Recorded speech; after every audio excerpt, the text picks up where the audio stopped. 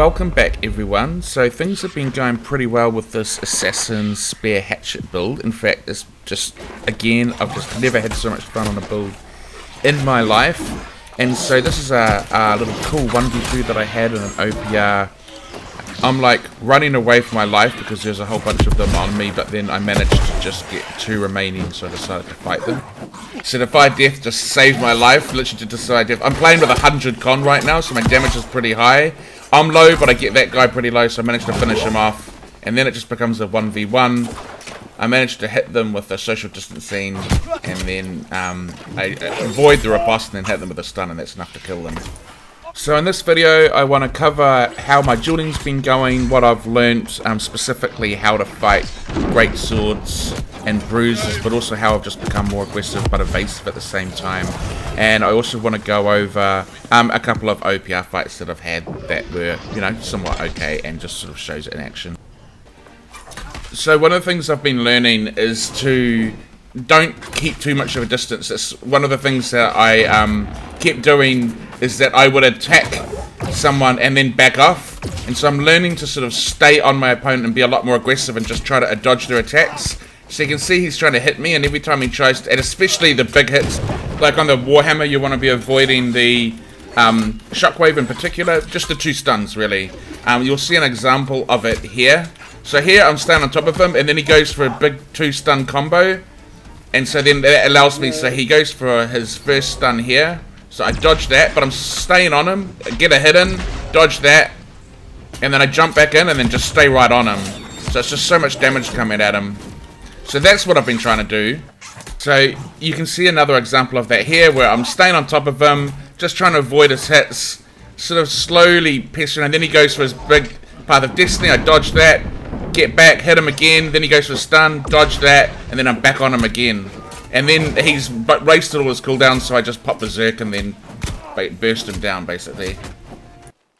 So, one thing I need to definitely improve on, especially in OPR, is I tend to, well, look at me, I keep running out of stamina too, apparently.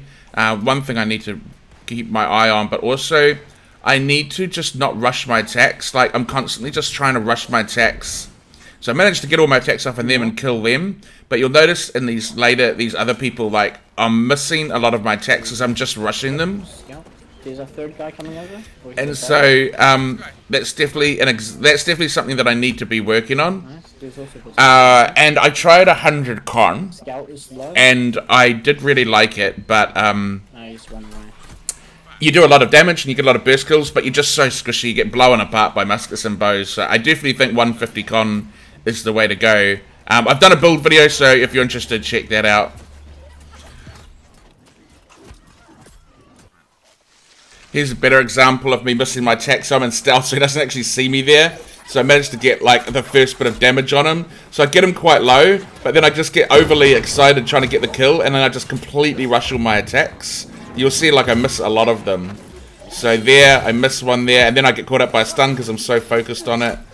And then I managed to get him with a few spears there. But he's so low. And see, I mean, like, I'm just not hitting anyone. Missed that feral rush. And then basically, he just gets away, so... So that was days 1 and 2. Days 3 and 4, I kind of saw more improvements. I guess it's more along the same lines of what I've been doing, but a little bit more finessed. And also, um, next up is like, I really was just getting absolutely creamed by great swords. And so um, I really, really wanted to pick up some tips on how to fight them, so this is what we'll be covering at the next.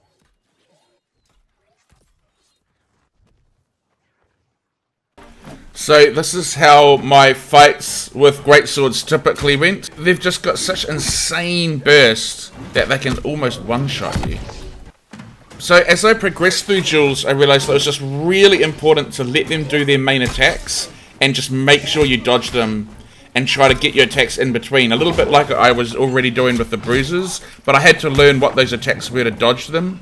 So when I did that, you could see that my fights against the great swords was actually getting a little bit more decent, and I was getting them low. So you can hear me. Okay, I'm getting, I'm, I'm, I'm getting the hang of. See, so you can see there, I'm starting to figure it out. So then what I tried to do was, also, while also trying to dodge their attacks, I tried to get the sweep in between their attacks to get the stun off on them so I can like, kind of unload my damage on them. So you can see that here. He goes to rush me, and then I manage to sweep him, get him on, and then I can do my perforate on him. And then I just take away all his health because he's in offensive stance and he's taking a lot of damage, and then I can win. Uh, So that kind of gave me the confidence against other great swords. Um, I just became a little. I, I still think I'm probably going to lose more than I win at the moment. I definitely need to get better practice, but I would say at this stage the tactic is try to be as aggressive as you can, dodge their main attacks, and try to catch them in a sweep. Um, and then when you can do that, um, or even go to Vault Kick, get them in a stun, and then do your perforate on them because if you can catch them while they go into offensive stance and unload your damage on them, then you should be able to kill them almost in one hit, or very quickly. In terms of bruisers, it's the same sort of pattern. Uh, this guy's like a really, really good bruiser on our server, and you can see the amount of burst damage he can get in on me if I'm not playing properly. Like, he can basically get rid of my health in like a pretty quick amount of time. So what I try to do is I try to bait out his two stuns, which he's just done then, and then that was my strategy, and then I just went hardcore on him.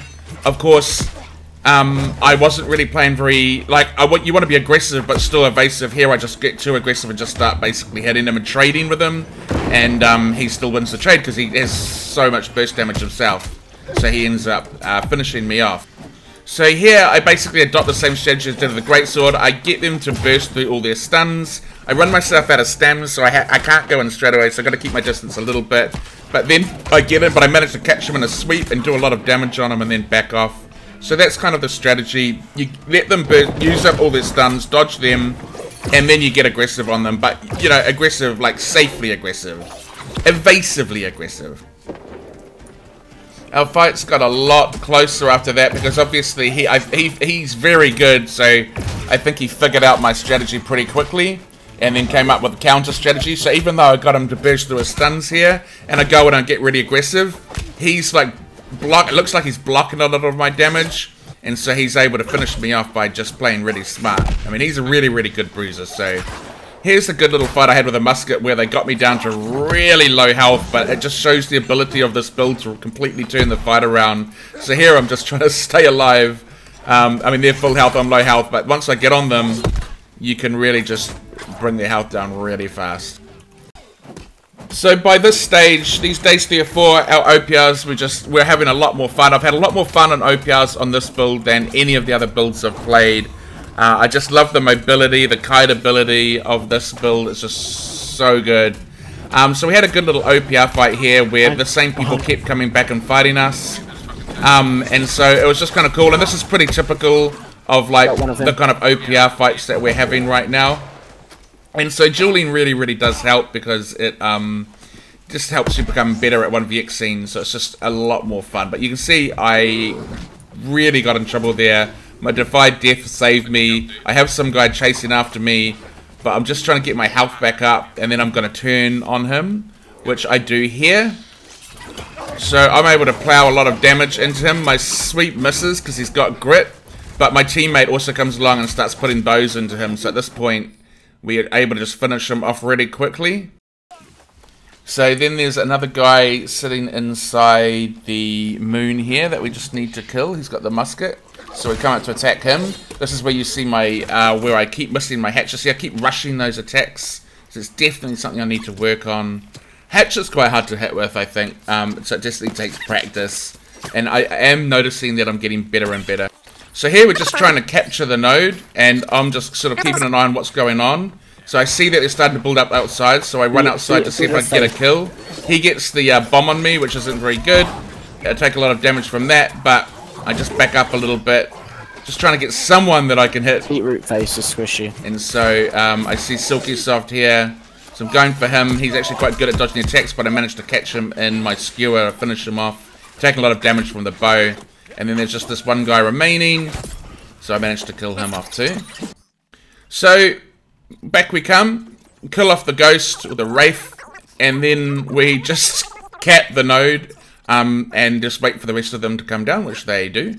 Honestly, backcapping can be really, really effective with, or you can see in this uh, OPR, like we're the only ones capping a node, and um, it takes their team away to have to come back and fight it. So I swear that we have actually turned fights around by doing this kind of strategy. But I see this guy outside again, so I come out to, to try to gank him. Got to keep those, got to mow the lawns, you know. You got to keep those numbers low. I managed to get him with a social distancing, and then I get on this guy with my spear. He actually smartly does the calamity, but I um managed to finish off the spear after the calamity anyway. So I try to put the door up. And then I can see someone on the outside, so then I come to try to finish this person off. So this is this kind of like, yeah, so I get on them. They're a bow person, but I managed to get them in my skewer, so I finished them off. Old Blue the Bear's trying to knock down the door, so we go kill him, and then we can see some people on the outside. So we are just in trying to find out what's going on, how many of them are. It was actually quite funny because we're trying to troll them by rebuilding the door, but eventually I come out it's the same two that were originally there before. He does the calamity, I get caught by it again. Don't learn from my mistakes. Miss my miss my hatchet. Get him with a, a faux hatchet though, which is good. And I think my friend's bow finishes him off. So it's uh yeah, so just trying to kill these guys. Got two VP. My bow's my friend of the bow hits him, and then it's just a matter of finishing this last guy off who's on a musket and uh, get caught in that riposte. I thought I timed that properly, but I was just a little too quick, but I managed to get him with the hatchet. So now he's at low health, and then I can just finish him off with that. And so then I come back inside, wait for the next group to come down. If we go get hit by a blimmin' musket bomb, but I dodge the musket bomb, so don't take any damage. Miss my, miss my hatchet again yeah, I've really got to work on that. That's my uh, next thing for the next few days. But I catch him in my spear and I kill him. So yeah, that's um, pretty much wrapping up the next sort of three or four days of the progression on the spear hatchet. Obviously, there's going to be more to come. So hopefully everyone is enjoying the series. And um, yeah, and I'll see you soon. It's time to go, I think.